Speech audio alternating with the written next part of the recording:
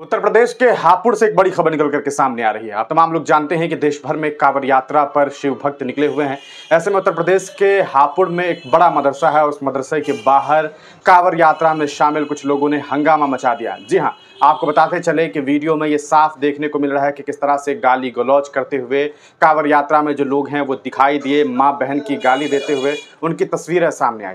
ये तस्वीरें काफ़ी चौंकाने वाली थी। मामला ये है कि हापुड़ का एक वीडियो सामने आया है, वहाँ पर एक बड़ा मदरसा है। उस मदरसे के ऊपर कांवड़ियों ने यह आरोप लगाया कि वहाँ से थूक फेंका गया है। अब आप अंदाज़ा लगा सकते हैं कि इतना बड़ा आरोप लगाया गया है और इस आरोप के बाद इन लोगों ने माँ बहन की गालियाँ देनी शुरू कर दी। वीडियो ऐसा सामने आया जिसमें ये साफ़ साफ़ देखा जा सकता है कि किस तरह से बड़ा मदरसा जो है जो मदरसा है उसके गेट को तोड़ने की भी कोशिशें की गई है। इसके अलावा कई लोगों ने सीधे तौर पर वहाँ पर जो आ, मदरसा के जो टीचर्स रहे होंगे उनके सामने छात्रों के सामने माँ बहन की गालियाँ दी। ऐसी ऐसी गंदी गालियाँ जो किसी भी तरह से एक शिव भक्त के मुँह से नहीं कबूला जा सकता है। सवाल यह है कि क्या उत्तर प्रदेश पुलिस प्रशासन इस पर कार्रवाई करेगी? हालाँकि आपको बता दें, इस पूरे मामले पर यूपी पुलिस ने अपना बयान भी जारी किया। उन्होंने सीधे तौर पर यह बताई कि किस तरह से यह आरोप लगाया गया है कि मदरसे से जो है वो थूक फेंका गया है, कावर को दूषित करने की कोशिश की गई है। ऐसा आरोप है और अगर इस आरोप में सत्यता पाई जाती है तो हम सख्त से सख्त कार्रवाई करेंगे। लेकिन सवाल यह है कि जो लोग कावर यात्रा में माँ बहन की गालियाँ दे रहे हैं,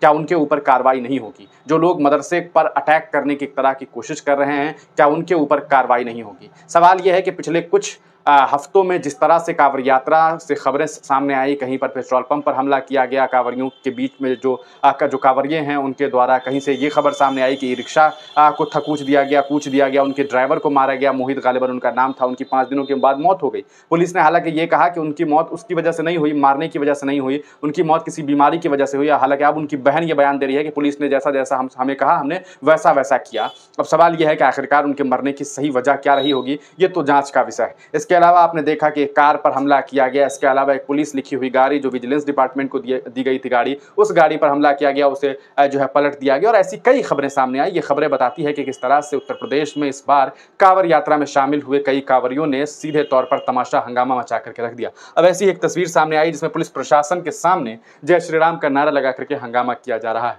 आप इस वीडियो को देखिए।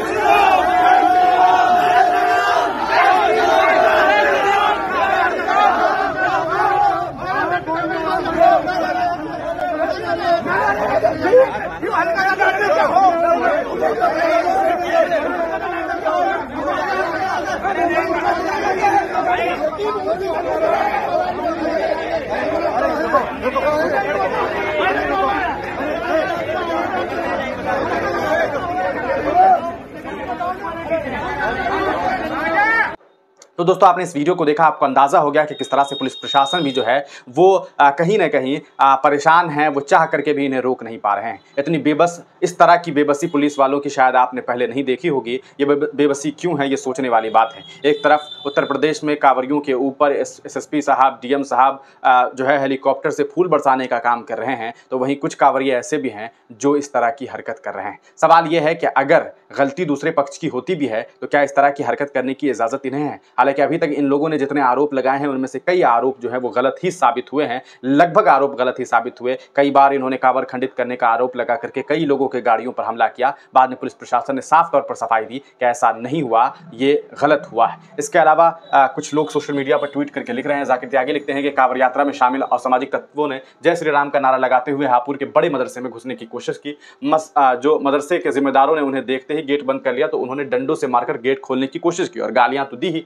मामला हापुर के सिकंदर गेट स्थित बड़े मदरसे का है जहाँ एक गुंडा फॉर्च्यूनर गाड़ी की छत पर बैठकर आता है और मदरसे के सामने गाड़ी रोक गाली गुलोज करने लगता है। गेट में डंडे मारने लगा और धमकी देने लगा। उसके साथ अन्य युवक भी गेट पर पहुँचते हैं और जय श्री राम का नारा लगाते हुए मदरसे में घुसने की कोशिश करते हैं। DGP UP police home minister of India और साथ ही साथ ये जो आईजी रेंज मीरठ है उन्हें ट्वीट करते हुए लिखते हैं कि यदि इन गुंडों को समझाने के बजाय इन पर कार्रवाई की जाती तो हम इस मामले पर लिख नहीं रहे होते। यदि हम लिखते हैं तो आप पर हाँ, आप एफआईआर कर देते हैं, जैसा कि आप तमाम लोग जानते हैं कि पिछले दिनों हिंदुस्तानी मीडिया पर भी एफ़ हुआ, जाकिर अली त्यागी पर, वसीम अक्रम त्यागी पर और कई लोगों पर एफआईआर हुआ था। आपको देखना होगा कि आपकी किस कार्य प्रणाली के तहत ड्यूटी के अंजाम ड्यूटी को अंजाम दे रही है।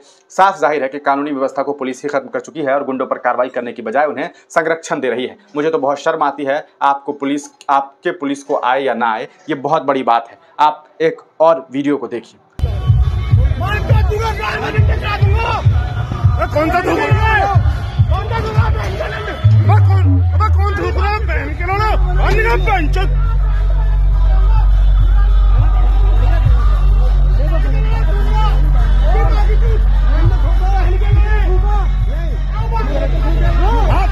तो दोस्तों, आपने इस वीडियो को देख लिया, अब आपको अंदाज़ा हो गया होगा कि किस तरह से उत्तर प्रदेश में शासन प्रशासन जो है, वो विफल साबित हो रही है। विफलता इस वजह से क्योंकि वो बेबस है और ये बेबसी क्यों है, ये सब कुछ सोचने वाली बात है। आप इस पूरे प्रकरण को किस तरह से देखते हैं, अपनी राय कमेंट सेक्शन में ज़रूर दीजिए।